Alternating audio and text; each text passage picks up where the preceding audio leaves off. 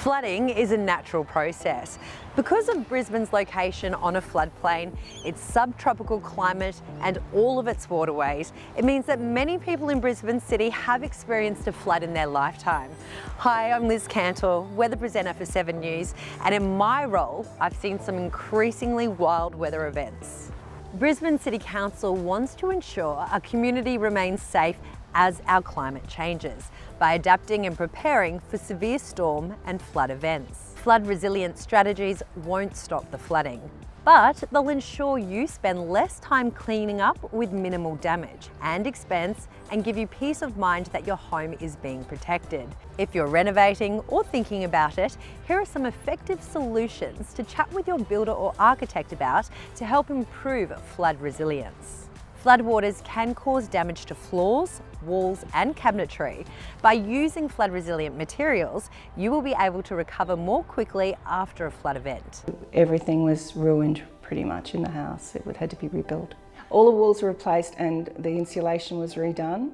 The kitchen, all the cabinetry, the doors, basically everything uh, was replaced with um, flood resilient material. So if it ever floods again, hopefully not, um, it will be fine and I'll just be able to uh, just hose it out and repaint.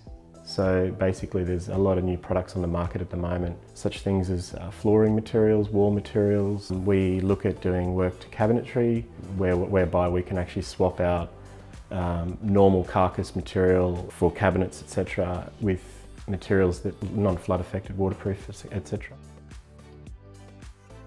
All right, so here I've just soaked two different wall linings. This is a standard you'd see in most places. And then here we've got an FC sheet, which we do use all the time anyway. It's just about using the products that we'd mainly use in a wet area, but just using them in general application. And you can sort of just see that like it's covered in cardboard. This will just soak up the water, all the cardboard will peel off.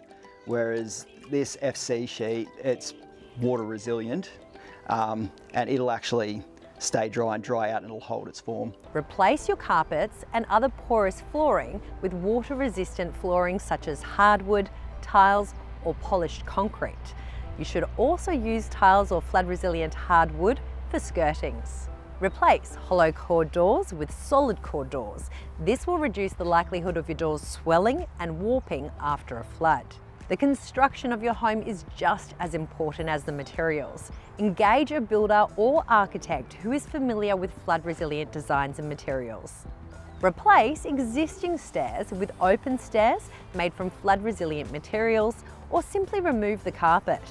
For closed staircases, which can trap water behind them, the first stair riser can be modified to be removable to let the water escape. Use the same materials and waterproofing techniques in your kitchen and your bathroom. Flood resilient materials are cost effective, durable and add style. So if you are renovating or building, talk to your architect or builder about flood resilient designs. Find out more from us online.